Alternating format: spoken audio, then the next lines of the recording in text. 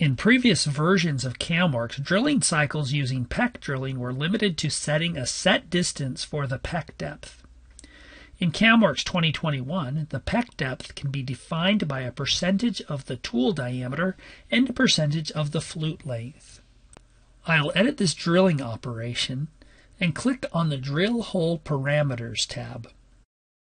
Here we can define the sub-peck amount to be based off the input value, a percentage of the tool diameter, or a percentage of the flute length of the tool.